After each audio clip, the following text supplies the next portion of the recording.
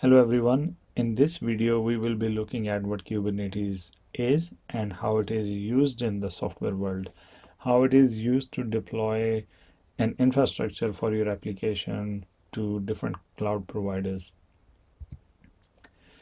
So it's a software that takes care of your application deployment and scaling it onto a bunch of computers, which is called a Kubernetes cluster. Those clusters can be made out of physical computers or virtual machines. The basic building block of Kubernetes is a pod.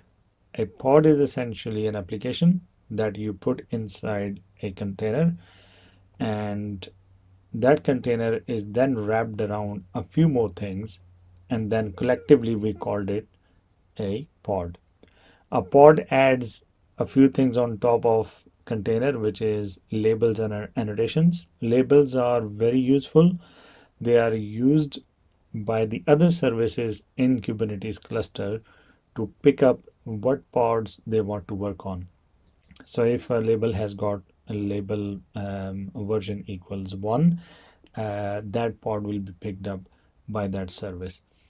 Restart policies, termination control, they are very self-explanatory. Security policies and more, you can configure security policies and whatnot in the pod configuration. So how a pod is created? This is the process. We write the code, we package that in the container image, for example, Docker container image. We wrap the container image in a pod, which means that we write the, the, the YAML representation of the pod and we mention that this is the image that we want to put inside the pod and then you run it on Kubernetes cluster. This is a typical YAML for a pod. We mention the API version. Everything in Kubernetes is done through an API and the API server of Kubernetes exposes a REST API that is used to create pods, create, um, uh, do things on cluster, get all the pods that are running on the on the cluster, and that API is basically the entry point of everything you can do on Kubernetes. The next thing is the kind. Uh, this is the kind of the object we are creating. Obviously, it's a pod. Metadata gives it uh, useful information. The name of the pod will be hello pod. Uh, these are the labels that we just mentioned. Uh, this pod will have two labels. One is zone and other one is version. And then, so this is the definition of the pod. These are the things that are basically wrapped around the container. And then under the spec, you have the definition of the container itself. So the name of the container will be this hello CTR image uh, where the container will be created from is uh, provided here. You can have your um, uh, registry configured uh, with Kubernetes and then you can provide your um, if you provide your account name and then uh, the name of the image and its tag it will uh, pull that image from there. And then the uh, what ports you want to expose on the container. And this is the visual illustration uh, inside the pod. You have got this container and pod adds these things on top. So the process of deployment of a container to uh, a pod to the cluster is you define a YAML, you post that YAML to the API server.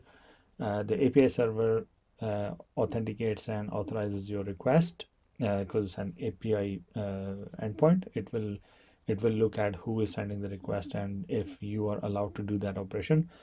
Uh, then the the YAML is validated. Uh, it checks if the YAML you've created is fine, and then the scheduler deploys. Scheduler is another component that uh, uh, that looks at what pods are ready to be deployed, and it schedules them to be deployed on a node which is healthy. That means uh, that has got enough resources available to entertain that pod so a node can have one or more pods. So the scheduler basically looks at the, the cluster and picks up a node that can handle the workload of that pod.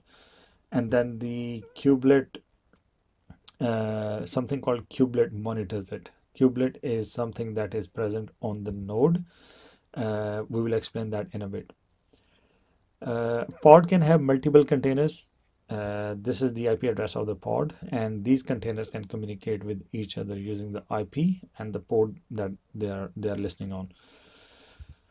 Uh, this is how pods look when they are deployed on a cluster. Uh, we can see that we've got five computers and they all are on different networks. So this one is network A and node 5 is on network A, and node 2 and 3 are on network B and node 4 is on network C. Uh, it's not necessary that this will be the case, but if this is the case um, and you deploy your pods onto um, one or many nodes from these cluster, uh, what will happen is the no, uh, the pods will have their own network. So say for example, if this pod over here is deployed to node 5, and that one is deployed to node 4 and this one is deployed to node say for example um, node 1 right? Um, the pods will still be able to discover and communicate with each other because they have their own local network. So they are not dependent on the network of uh, the node that they are running on. So what's inside a node a node has got three things basically. A kubelet. A kubelet is a piece of software by Kubernetes that handles the node uh, being part of the cluster. So it registers the node with the cluster and says that this node is actually part of that cluster. Um, the container uh, runtime, which is the process that is able to run um, um, uh, containers like Docker container. Uh, containerd is, um, uh, I think it's provided by Docker, uh, is a runtime that can run, uh, that can help run containers on that machine. Network proxy is a piece of software that handles the networking part of the of the overall implementation this is a worker node basically and we can uh, we can deploy pods onto this node now we have seen what a worker node looks like. Now we have looked at what the worker node is. What we want to look at now is this image here. This is the kubernetes official documentation. The kubernetes uh, cluster is divided into two parts. One part is called control plane and the other part is called uh, data plane. The control plane is a bunch of computers from within the cluster that is used to run the services needed for the Kubernetes to function. So if you have say uh, a cluster of 10 computers, we can say that three computers from those 10 computers are control plane. That means they run the services needed by Kubernetes. And the remaining seven will run our applications. That is the data plane. In the control plane, we have API API server. Um, API server is the API that we hit to do anything on the on the Kubernetes cluster. We have etcd which is the data store where all the configuration that we post to Kubernetes is stored. All the information about the uh, uh, what the cluster is, uh, what pods are there, what deployment controllers we have, um, everything that is related to configuration configuration of our cluster is stored in that data store. Scheduler is a component that schedules new pods onto healthy nodes so this is all basically the brains of the Kubernetes cluster. The other part, which is the data um, plane, is uh, just computers that will run our pods. Every node has got a, a kproxy and kubelet that we just uh, explained. And then the third part in here will be the pods that we deploy to these nodes that run our application. Okay, pods are immutable it means that they cannot be updated uh, they shouldn't be updated. The uh, purpose of the pod is to just run the application and if there is something wrong with the application or the pod it will simply be destroyed and a new one will be created. They can also be short lived means that uh, if a pod is doing something uh, that is temporary uh, for example it needs to run a batch job and um, the pod will be created uh, the application the container will be created the application will run and when it has done its job the pod will be destroyed. kubectl is a command line tool. Anything you want to do on kubernetes cluster will be done through kubectl command. Um, uh, for example if you want to get all the pods you just run kubectl get pods and it will give you all the pods running in the running in the cluster kubernetes namespaces are a way to partition your cluster logically. So the biggest use case is if you have three if you want to create three different environments your development your testing and production you can use namespaces. You can create a namespace namespace with name dev a namespace with name test and a namespace with name uh, production. Namespaces are also useful if you have multiple applications that you want to deploy on a cluster. So you can maybe create a namespace for e each application. It really depends on what scheme you develop to use namespaces but they are basically uh, a tool that you can use to uh, logically divide your cluster. Deployment. Deployment is a way to deploy your pods to the cluster. There are many controllers in uh, kubernetes control plane and one of the controllers is called deployment controller. Uh, it handles a deployment object that we create and it looks at that uh, object looks at that configuration and um, it makes sure that the the state of the deployment of the pods mentioned in the deployment object um, is uh, kept all the time as it is expected um, or in the Kubernetes way there there are two states. There is observed state and there is desired state. Desired state is the state that we mentioned in the in, in the config. And the observed state is the actual state of the cluster. And the deployment controller basically uh, its job is to make sure that the observed or the actual state is always uh, identical to what we have mentioned in the in the configuration which is the desired state. This is a deployment yaml. The deployment YAML has got kind obviously uh, deployment. We give it a name. Uh, replicas 10 means that it will deploy 10 pods uh, 10 identical pods and it will make sure that they are up and running all the time selector is hello world. So it will pick up the pods that has got uh, a label name app and its value is hello world. Minimum ready seconds is the amount of time that it will wait after creating a pod uh, and and and see that it's up and running for that period of time before it goes on uh, create a new one. Uh, strategy is the deployment strategy. Uh, now we we have uh, mentioned rolling update. And it basically depends on these two things.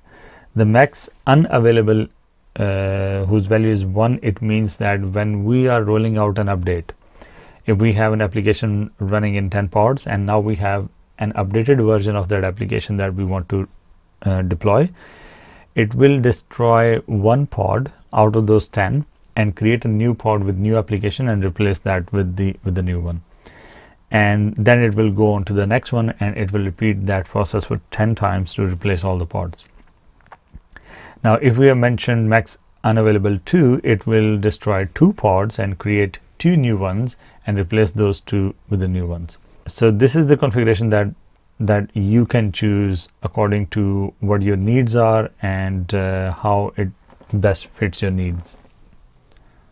So you can choose this configuration according to your needs. And then we have template. Template is basically the template of the pod. Uh, for the pod we have just given it a name hello world uh, so this label is used here to pick up that pod and then the spec has got the container details this is the image name this port should be open and then uh, hello pod is the name of the uh, hello pod is the name of the container there is something in between deployment and pods. It's called replica set. It's replica set that is actually responsible for uh, scaling and healing right? And um, uh, this part over here from replicas all the way to min ready seconds is uh, a separate type of object. It's called replica set. So replica set is basically uh, uh, is is is a thing that performs the actions required for scaling and self healing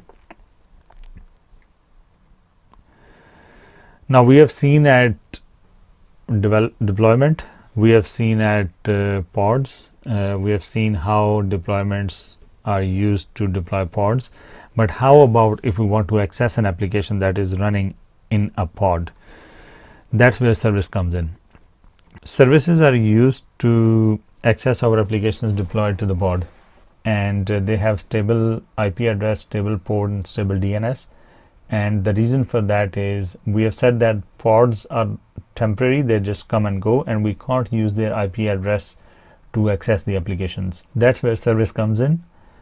It load balances the pods uh, or that are running your application.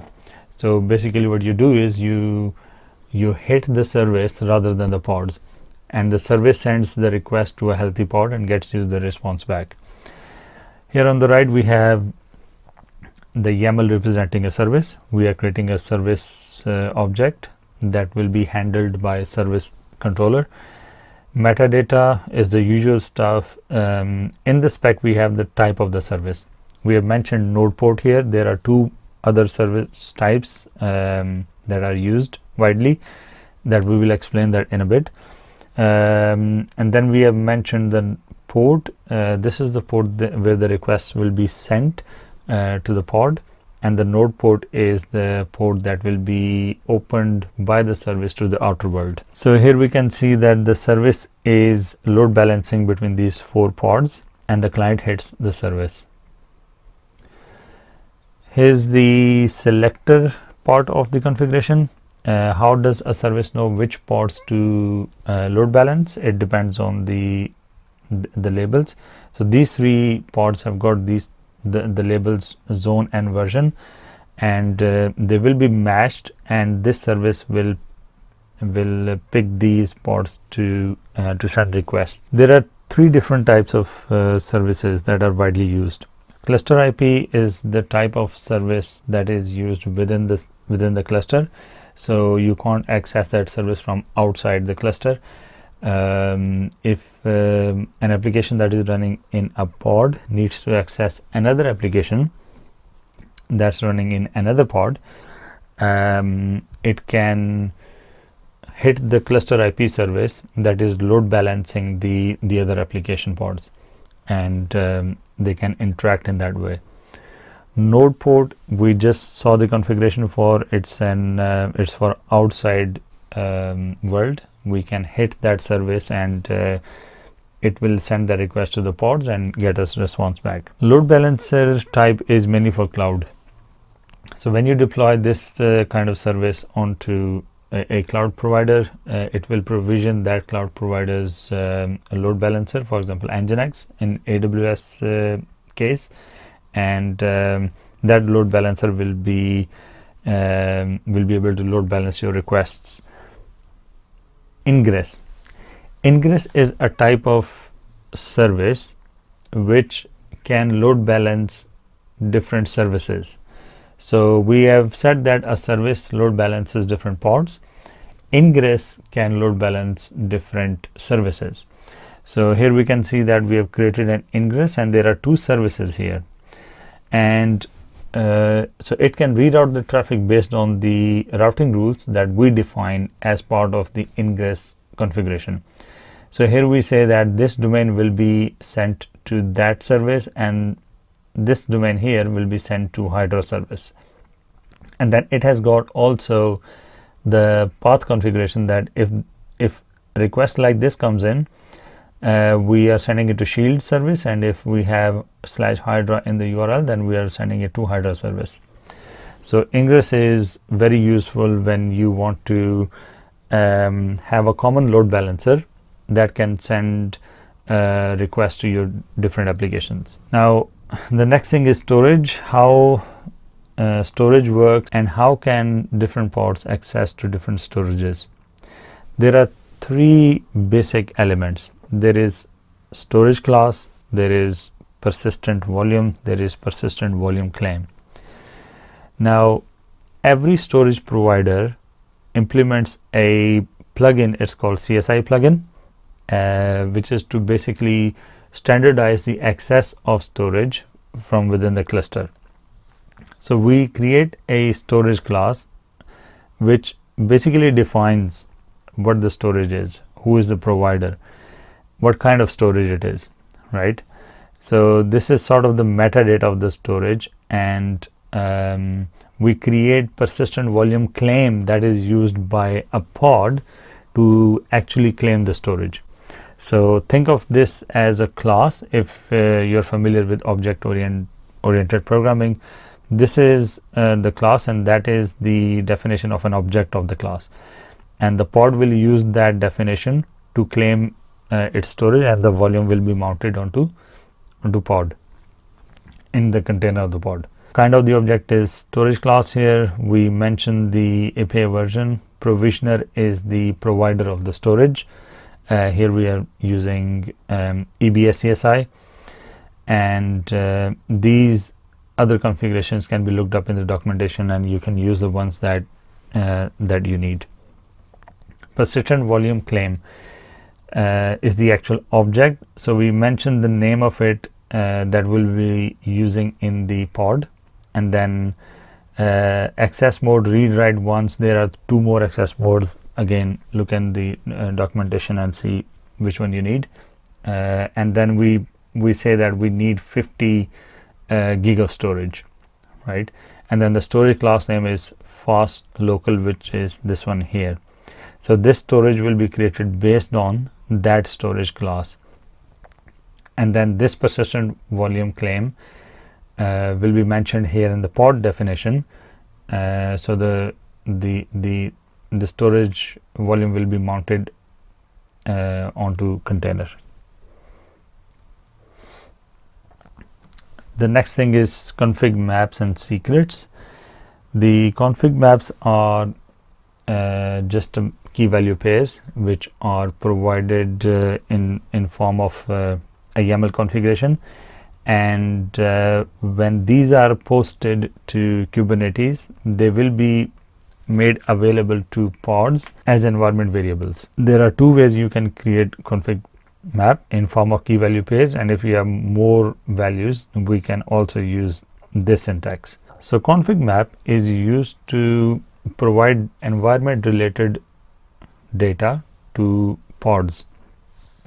So, you have different URLs or different database connection strings uh, for dev environment, stage and production. So, you can use config maps uh, for each type of cluster to provide these values as environment variables to the applications. How about passwords and uh, API keys and the data which is sensitive?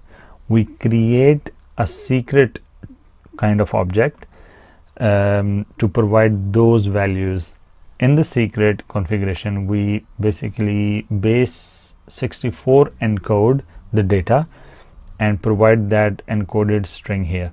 It's not really secure but it is like one way of hiding the data.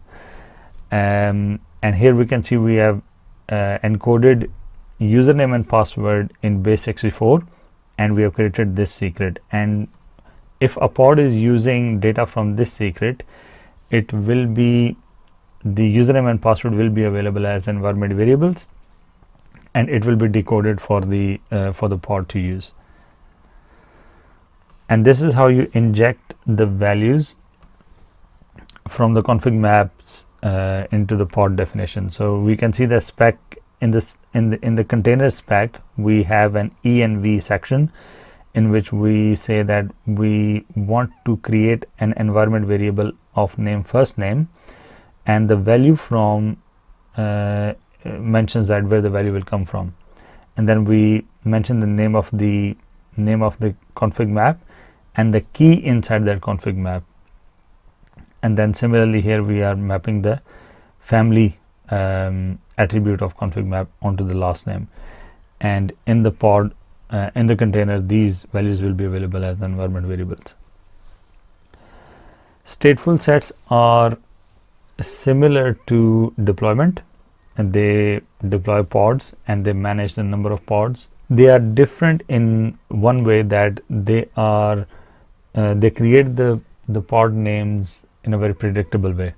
So they will use the uh, the service name. There's a scheme that they use to to generate the names of the pod in a very predictable manner. So if they for example if they if they have if we have replicas three replicas they will create uh, pod names as for example uh, abc service dot pod 1 abc service dot pod 2 abc service dot pod 3 and if any of the pods um, goes bad it will create the new pod with the same name so what's the use of it? Its use is to say we want to have a, a pod that uh, runs our database and we want to connect to our database. We can use the, that pod's name to connect to that database.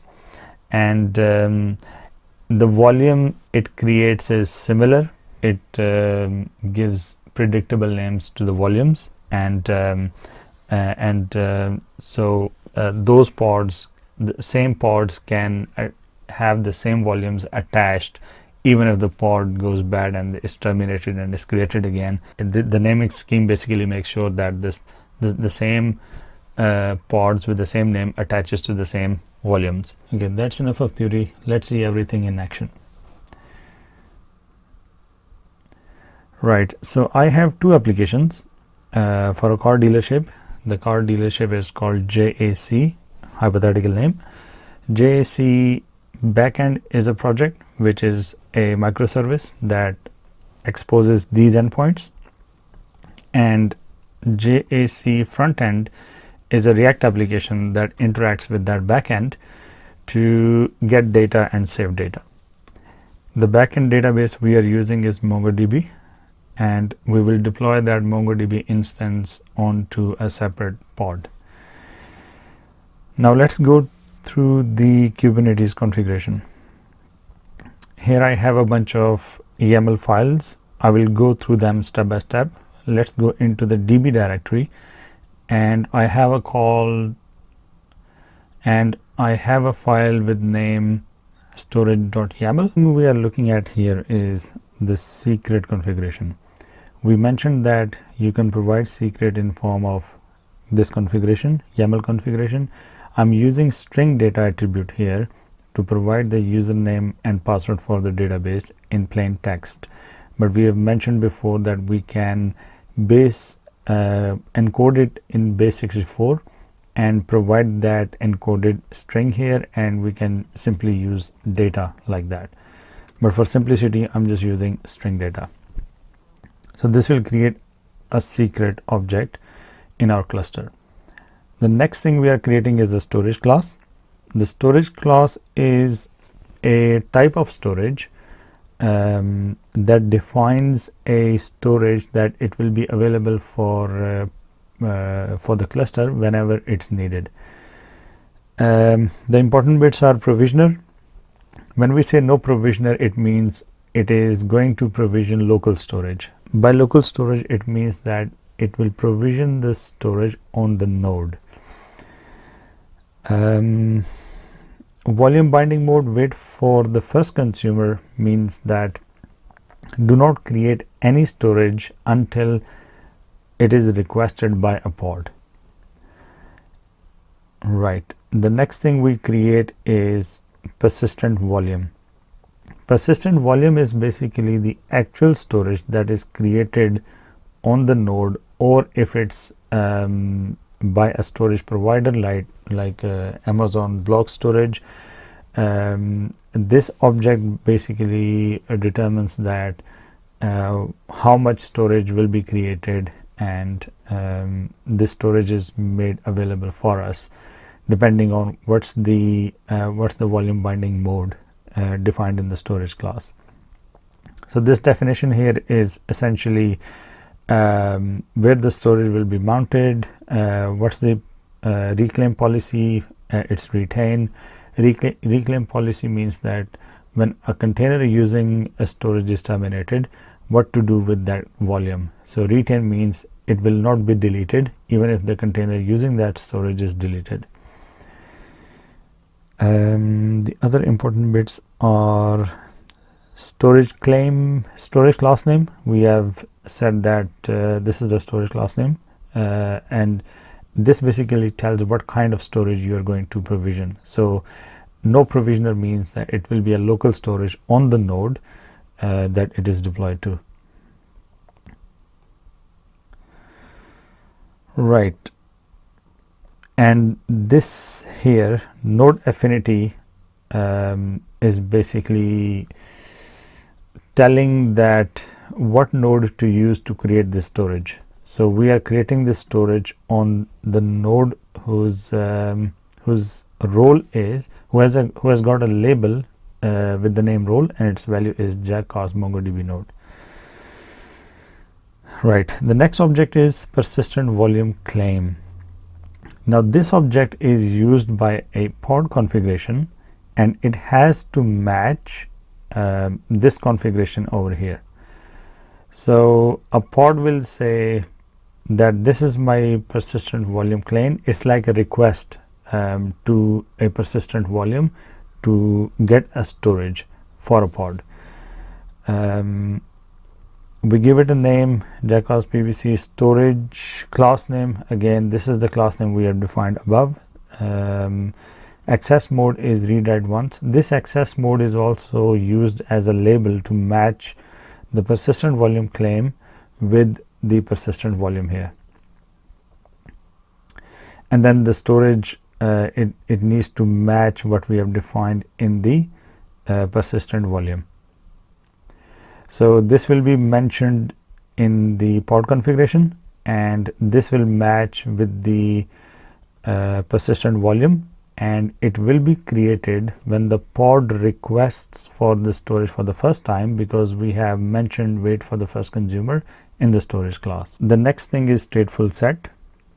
Stateful set is equivalent to deployment, but the only difference is that it will give predictable names to pods. In the spec, we will mention a service name and I will explain what this service is and what it does in a bit replicas is one. We just want one pod running the database. Selector is uh, what pod to select. Uh, so this pod we will define at the bottom of the uh, this configuration file. And here is the template of the container that we want to deploy. So we provide the metadata. We give the pod that role uh, which will be selected by the service. And then in the spec we have got um, a node selector. Um, node selector means that this node should be selected for the um, for the pod. And then we have got the container uh, definition. We give its name. Images mongo uh, and then these are the environment variables inject being injected into um, into the container. We have got the database names. Its value is hard coded for now for simplicity.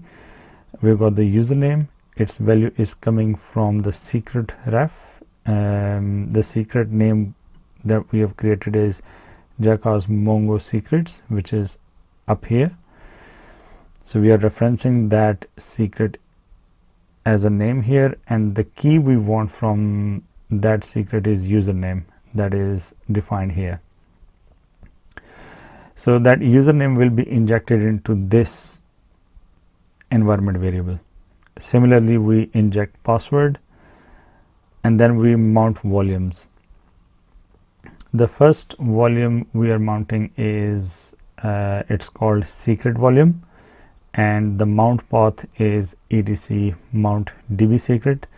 And it's read only. You can't update that once it once it's created. And then uh, the second one is mongodb data. And mount path is data slash db and this mount path is basically the mount path that we have defined in the in the in the persistent volume. And then we specify the volumes that will match these volume mounts. The name is um, secret volumes and then the secret name we provide is this one here. And then the name is mongodb data and persistent volume claim is jackass pvc that we have defined up here in the persistent volume claims. Now notice that um, what is common between these two sections? The volume mounts and volumes. If you look at this name here it is matching with that name. So what we are saying is mount these secrets onto this directory. And if you look at this one here it matches that name. And we are saying that mount the PVC that storage onto this directory here and then the next one is a service. Why we need a service? We need a service to get the IP address of the pod. We know that this pod is long lived because it has got a predictable name. So we create a headless service.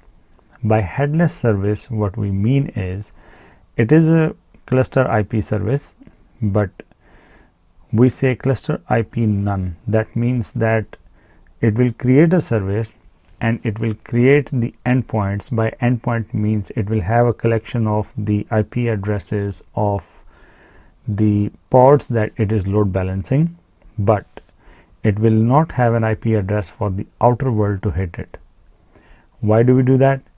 We do that to access the IP address of the pod that is running the database so that we can use that in our application to access the database and this service is uh, deployed onto um, uh, and this service basically selects this pod uh, that it will it will be um, load balancing. This is all the database configuration stuff. It will create one pod and it will host our database MongoDB and we will connect to our database from the other pods that will be running our backend services. Now, let's look at the backend services for a minute. This configuration file has a bunch of objects that will help us deploy our backend service that will connect to that database. The first thing we see here is config map. We give it a name and there is only one configuration item in this config map and that is the headless Mongo service that we have created as part of our storage YAML file as part of part of our database setup this one here. So the service name can be used as host name for the database. Coming back to the backend deployment configuration. So this is our config map. It will um, these this DB host will be mapped into the pod that we will see in a second. The next thing we create is the deployment object. Now why this is deployment object? Because these pods do not have to be do not have to have predictable names. They can come and go if uh, because this application is stateless if something goes wrong in the backend application or the pod that it is residing in it can just be destroyed and replaced with a new pod. We give it a name. Uh, we have said that replicas is only one. Uh, for simplicity we are just running one replica. Uh, you can give it two three or how however many you want to run selector selects the pod that it will deploy and then um, revision history limit it can go back five steps. Minimum ready seconds wait 10 seconds for the newly created pod and then create the next one. Strategy is rolling update that we have discussed in previous sections. Um, and then we have got this template here. Now this is the pod template. We are creating a pod with the label called app and its value will be jack be app we can see that this is highlighted here in the selector section of the deployment which means that the deployment will select these pods the next section is affinity section affinity section basically helps us to define some rules. For example, this rule here is node selector terms. We say that if a node has got node group of jack b in node group, then this pod can only be deployed to that node. This is the container definition. We have got a name, the image where the which will be pulled and container will be created from. The env section defines injects the um, environment variables that will be read from either the secret that we have created in the secret uh, object in the storage config. Uh, let's go back and see. Uh, these ones here.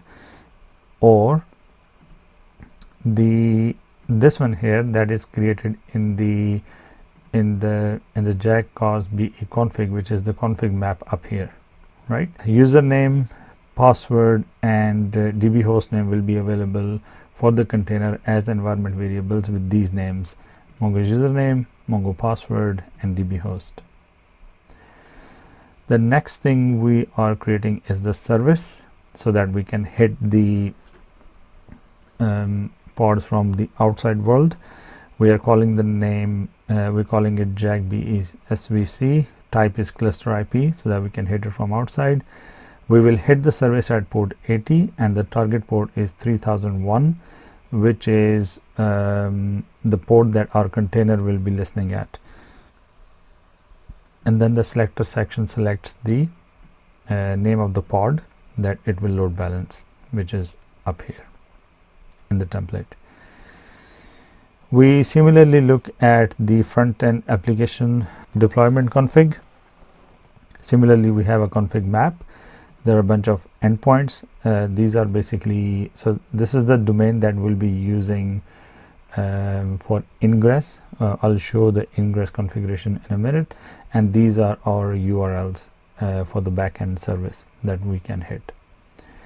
Again, the deployment service, uh, we similarly uh, push the uh, we similarly define the affinity rules to say that these pods will only be deployed to the nodes that has got node group as jack fe node group.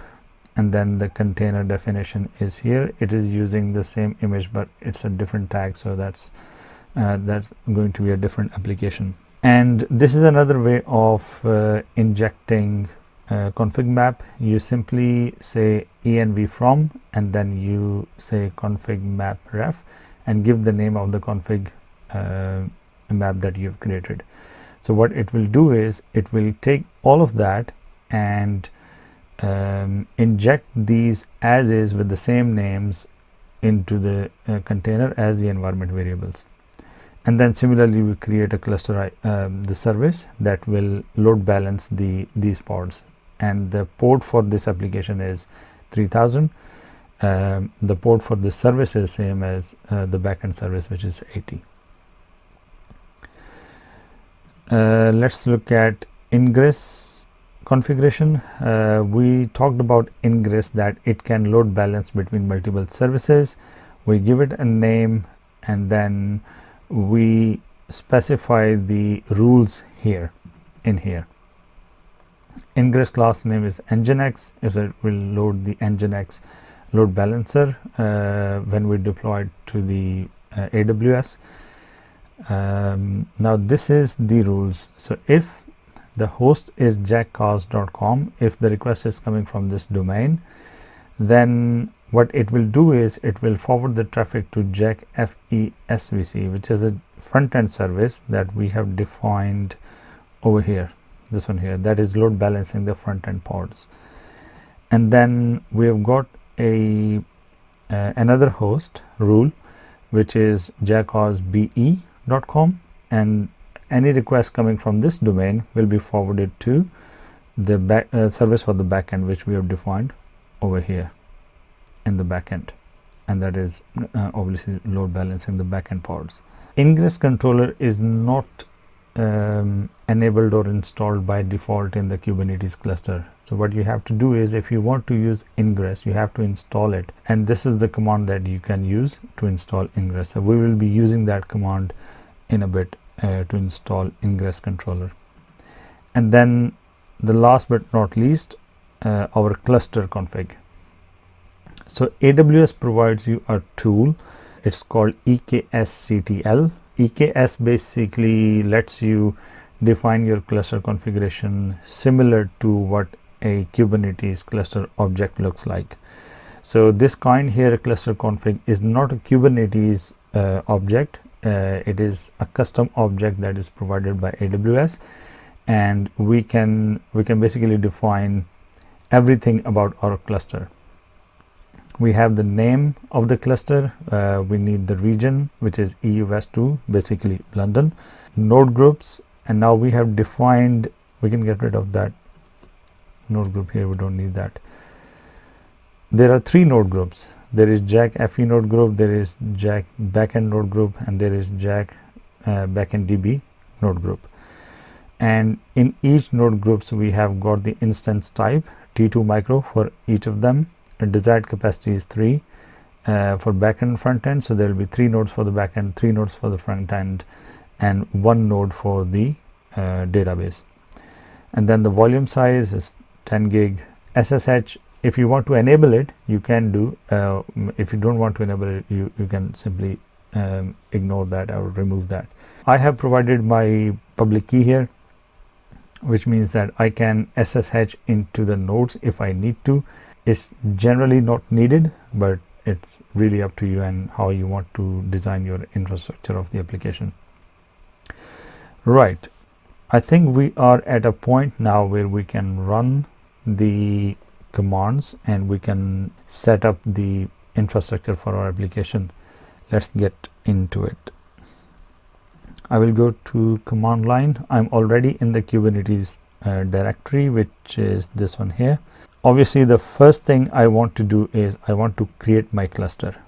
So I will use the uh, the tool that is provided by AWS I will say eksctl create cluster minus f cluster dot yaml what this command will do it will take everything that is written here and it will understand the configuration and uh, it will create all the nodes infrastructure for us and it will give us a, a Kubernetes cluster.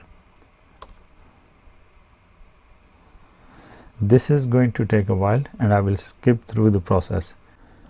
Alright, it took about 15 minutes and it has created our cluster. So going back, we ran that command uh, with cluster um, YAML configuration and uh, it created a cluster for us. And now if we head over to AWS we will search here for EKS Elastic Kubernetes Service that's where that's what we are using to create our cluster. We can see that we have our cluster created. It's active. If you go inside the cluster you can see all the resources and all the uh, nodes created in it. Now if you go to compute you can see that these are all your nodes. So for example if I open up the first one I can see things in it. The one thing that I want to show you is this thing here. So the node group for this node is jack be node group. That means that the pod that will contain the backend application will be deployed to this node or any other node that has got the same node group. Um, other than that there's a lot of information we can see here. There are currently two pods running uh, and these are pods that are required by uh, Kubernetes uh, to function so at the moment uh, we have six nodes. They uh, some of them will also behave as uh, the control plane and the others will um, contain the pods that are running our application. Right. So we go back to cluster and now going back to the command line again.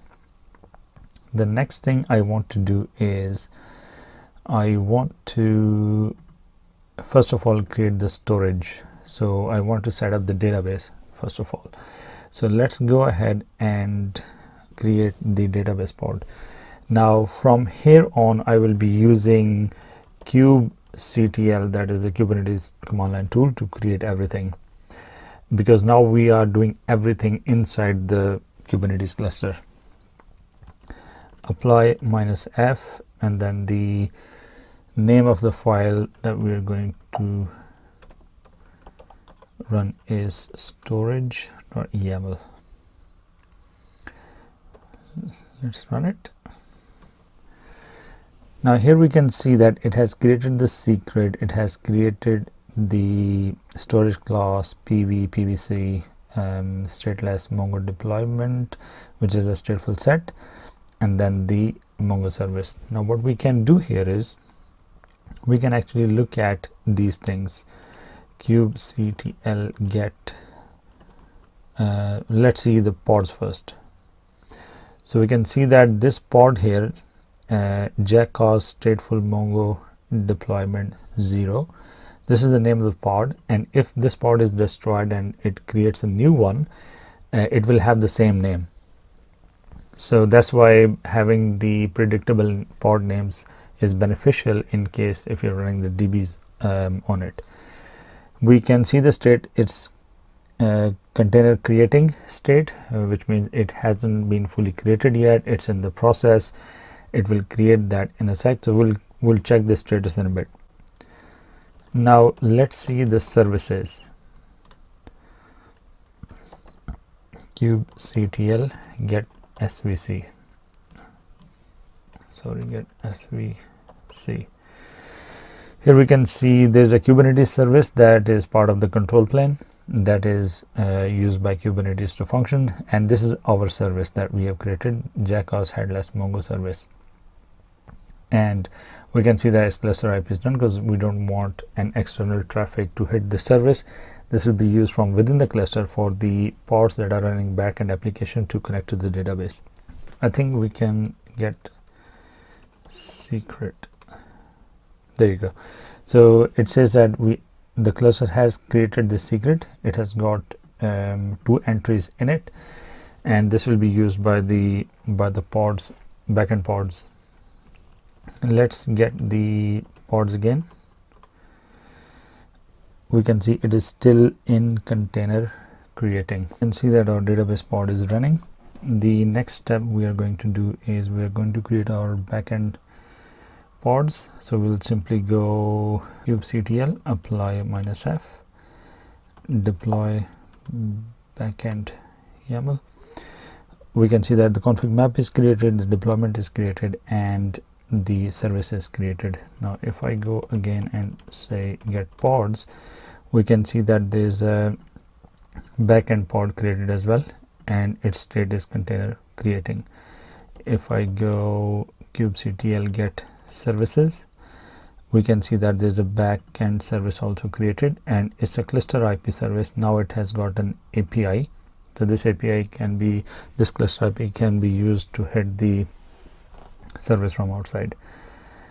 And then kubectl get pods now we we can see that both our pods are running. The database pod is running and the backend application pod is running. Now the next thing i will do is run the front end file and create the pod for the front end. kubectl apply minus f deploy front end. And again we can see that uh, now we're going to see the third pod which is the front end pod. And kubectl get svc and this is our service that is created for the front end. Kubectl get pods again. It is still creating so we'll just wait for some time and check the status again. Now it's running. And we can see that all three pods front end back end and database are running. Now we have mentioned that we will use ingress that will provision a load balancer provided by cloud provider which is aws and it will um, provision an nginx and uh, we will hit the nginx and nginx based on the domain name will send request to either the front end service or back end service. These ones here so let's see how it's, how it's going to happen so we will go install ingress. So this is the command that will enable or install the ingress controller. So what we will do is we'll simply paste that command here and run it. It will create everything that it needs to run the ingress controller. So we can see that it has created a bunch of stuff that is needed uh, for nginx to run so we can see here it has created the ingress class uh, so what it will do is it will it will provision nginx um, load balancer in aws and then we can apply our kubectl apply minus f our ingress configuration so that our rules are um, put in force kubectl get ingress we can see that our ingress is created. And here we can see that it will be handling requests from these two domains uh, and jackos.com now if we head over to aws uh, let me go back again.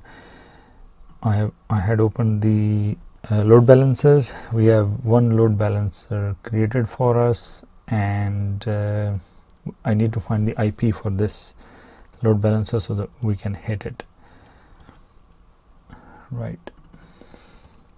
Copy that. I will go to network interfaces. I will search for that ID and then from one of these we are going to get the public IP now how we are going to make use of these domain names uh, I'm going to go to my host file and I will update I will redirect the traffic from these two domains to that IP address like so. Now if I go to my browser and if I go jackos.com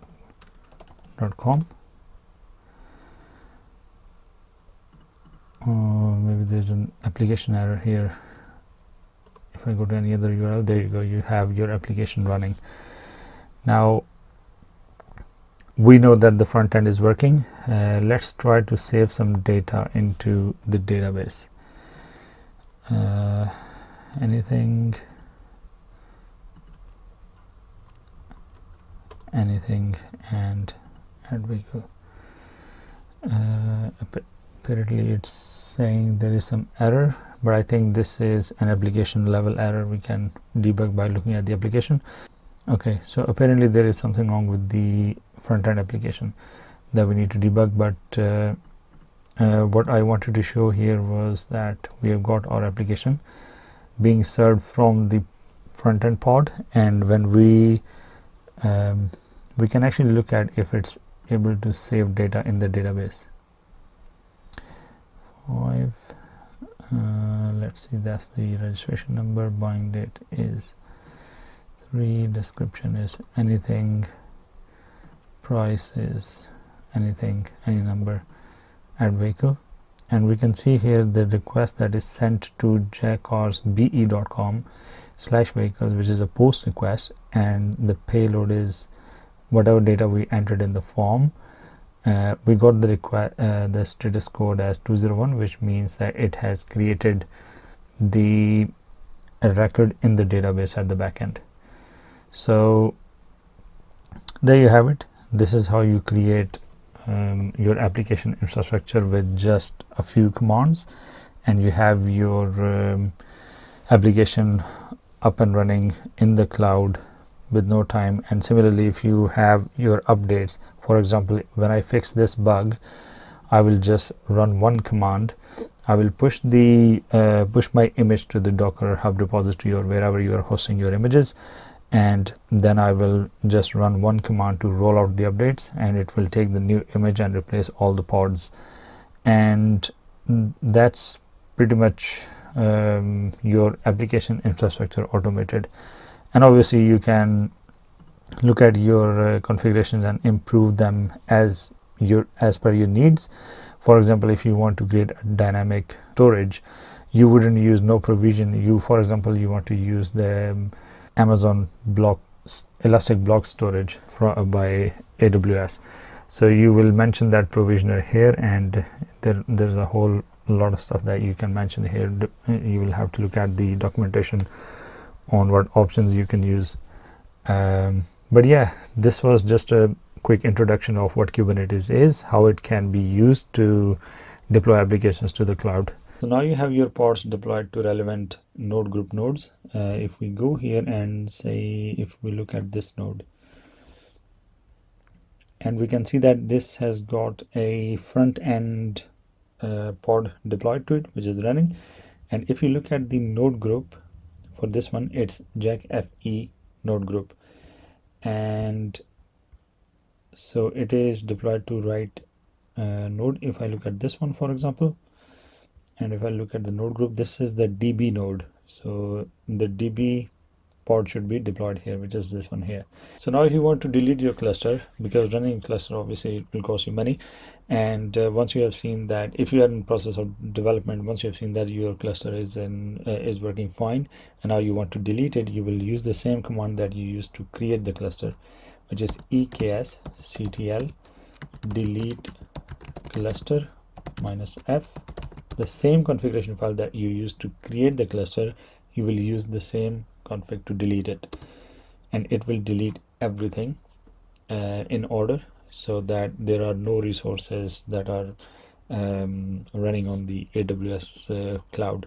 So it will delete when it delete nodes basically it's going to delete everything um, the pods and obviously uh, whatever is on those nodes. Right. So the cluster is deleted as you can see we issued a command uh, right here to delete the cluster and it just went through the same process to delete the node groups and everything uh, the control plane and the other node groups from the cluster and uh, all the resources that were provisioned from the AWS they are now released and deleted now if you go back to AWS console and if you go to Elastic Kubernetes service you can see there are no clusters here. Similarly if you go to load balancers